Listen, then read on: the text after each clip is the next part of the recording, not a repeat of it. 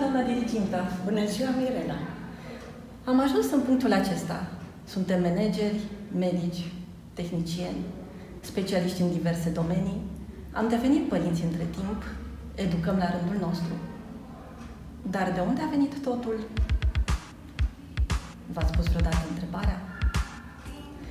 Sunt oameni care ne leagă în liceu, iar cu unii legătura se cultivă și chiar se sudează în timp.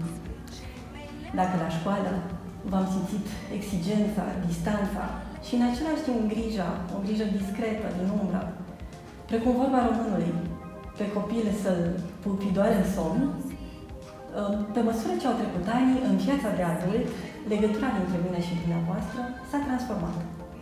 S-a creat o relație de prietenie, iar eu de câte ori aveam nevoie de un sfat sau susținere, știam că pot apela la dumneavoastră. Ne aflăm în Brașov, suntem la Colegiul Național Dr. Ioan Meșotă, așa cum v-ați dat bine seama, stăm de vorbă astăzi cu doamna dirigintă Zena Popa. Care este rolul real al profesorului, doamna dirigintă? Rolul real e unul complex. În primul rând, să învețe. Să învețe ceea ce trebuie să predea. Dar nu să rețină. Să știe, să caute, să știe, să judece, să știe să facă conexiune. Și pentru aceasta trebuie profesorul să-l învețe fiecare segment a acestor etape. Vorbim de elev acum. Care este calitatea cea mai importantă a unui elev? În primul rând să fie dotat, să poată învăța, să mintea lui să îl ajute și, în al doilea rând, să fie conștiincios.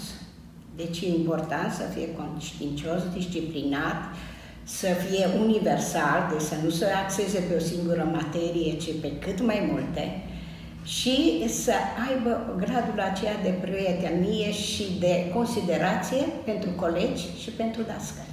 În cei 49 de ani de activitate profesională, desfășurați doar aici, la Colegiul Național Dr. Ian Meșotă, ați pregătit generații întregi de elevi. La chimie, o materie nu atât de comestibilă pentru mulți dintre noi. Palmaresul elevilor dumneavoastră este unul impresionant. 49 de premii și mențiuni la Olimpiadele Naționale, la care se adaugă distincții internaționale. Medalia de argint la Moscova în 1996, locul întâi la Ianutsk în 1999, 5 medalii de aur și argint, un palmares impresionant, va trebui să mă uit un pic peste notițe, 5 medalii de aur și argint obținute în 2005 la concursurile și olimpiadele internaționale din Tajikistan, București, Taiwan, Armenia și Corea de Sud. Vreau să precizez și numele unui elev care s-a apropiat de distinția cea mai înaltă la nivel mondial, Premiul Nobel.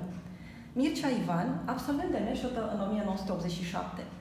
Lucrarea semnată de acesta a fost esențială în descoperirea efectuată de Greg Semenza, Peter Radcliffe și William Kellin Jr., care au primit Premiul Nobel pentru Medicină în 2019. Întrebarea, care este secretul dumneavoastră? Cum ați reușit să aveți astfel de performanțe cu elevii? Deci, uh, cred că, în primul rând, elevul trebuie să aibă niște calități pe care tu să te poți baza.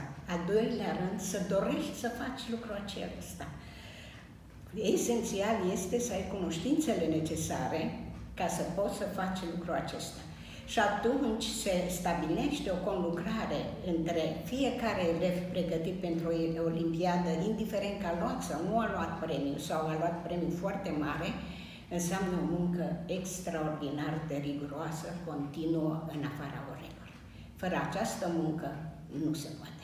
Am parcurs patru ani împreună, absolvind clasa a 12-a D. Ce amintiri vă leagă de clasa noastră?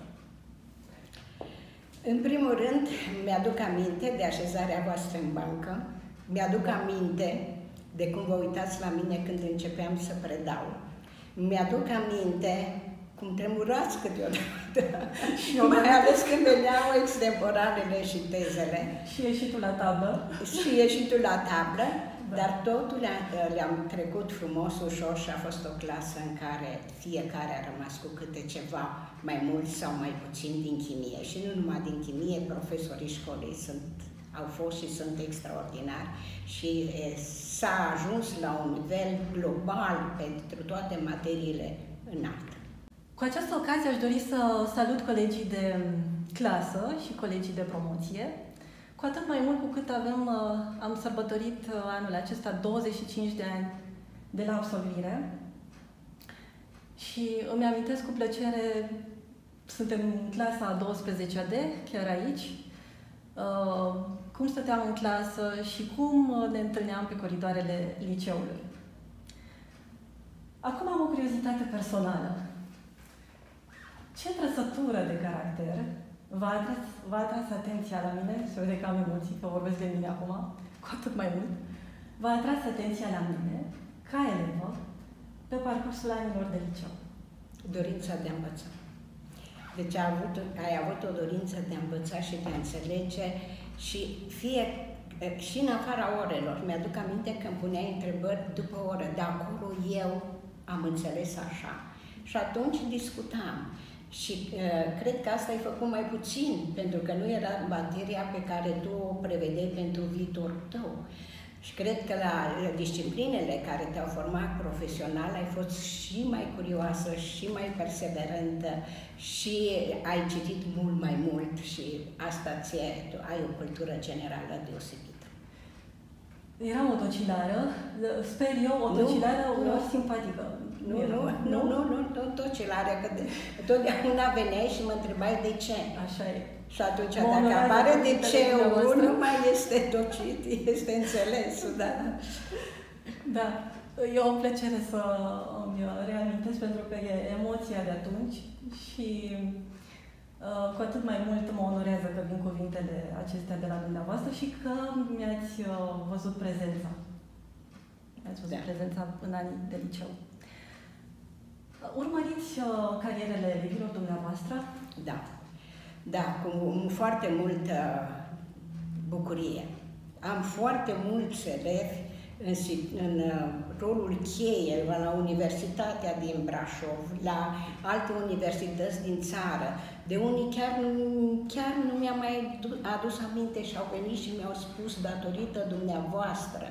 Și uh, bucuria este foarte mare. Deci, da, am acest sentiment de împlinire continuă.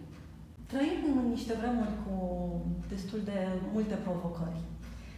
A fost uh, pandemia care a afectat uh, sistemul de învățământ uh, la nivel profund, o abundență informațională în mediul online, multitudinea de activități extracurriculare. Ce sfat aveți pentru generațiile actuale? Să nu fie superficiale.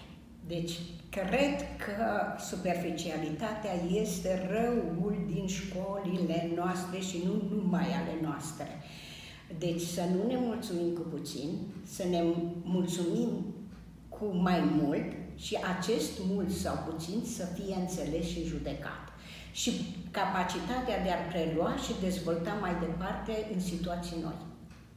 Vă propun un mic exercițiu de imaginație dacă ați fi diriginta tuturor românilor, a aproximativ 19 milioane de români, care ar fi cele trei cuvinte pe care le-ați adresat?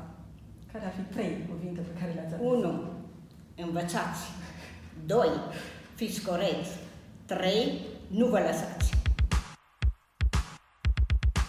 Aș vrea să fac un mic moment așa de sensibilitate și pentru a aduce recunoștința mea și probabil și a colegilor de clasă și a generației noastre, să vă ofer o mică atenție și vă mulțumim, doamna dirigintă, pentru toți anii aceștia pe care mi-ați... Irena, mulțumesc mult de tot și prin tine mulțumesc fiecărui elev al meu, de la 1 până la un milion cât am avut, să fie sănătos și să ajute la prosperitatea acestei țări. Țara noastră trebuie să fie prosperă. Al liceu,